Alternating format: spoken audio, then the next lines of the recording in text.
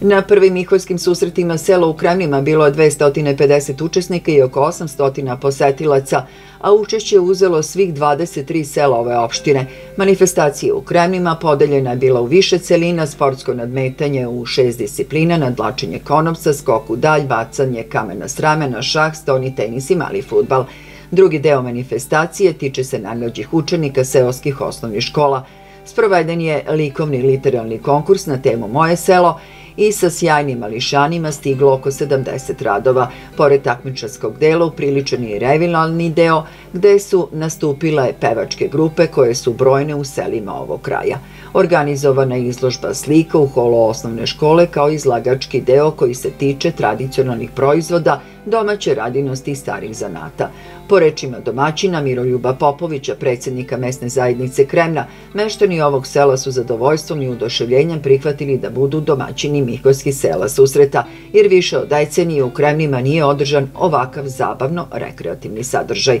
Da se zahvalim gospodinu ministru Krkobaviću, njegovim saradnicima, gradskom rukovodstvu, kao što sam i rekao juče i danas, ovakva manifestacija na području Kremana nije održana ni više od jednu deceniju.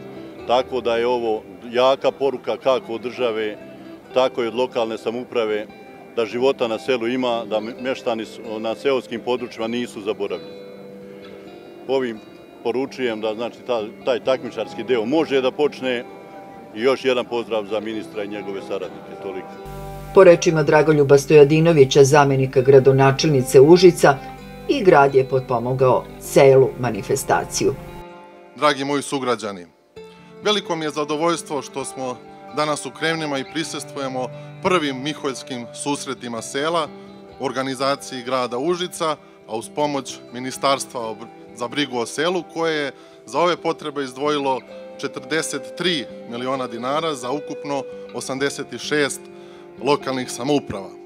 Grad Užice je dobio maksimalnih 500.000 dinara i svog budžeta obezbedio još 400.000 dinara za održavanje ove manifestacije. Ministar za brigu o selu Milan Krkobabić sa zadovoljstvom je takođe u Kramnima otvorio Mihkovske susrete sela, koji se od oktobra do decembra ove godine održava u čak 68 sela širom Srbije, čije su lokalne samouprave dobila sredstva na javnom korkusu. 161 selo se probudilo, dogovorilo, organizovalo susrete. Mi smo dali novac, nije novac poenta. Dala je i lokalna samuprava. Ovi ljudi su dali sami više.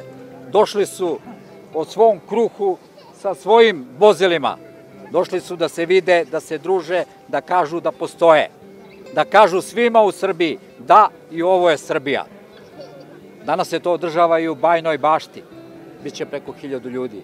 Takmičenja, znači širom Srbije. Uspeli smo da probudimo sela Srbije. U ovim susretima u toku ova tri meseca od oktobra do kraja decembra učestvovaće preko 961 selo sa teritorije opštine iz čitave Srbije, a manifestacije će širom Srbije imati oko 96.000 učesnika i posetilaca.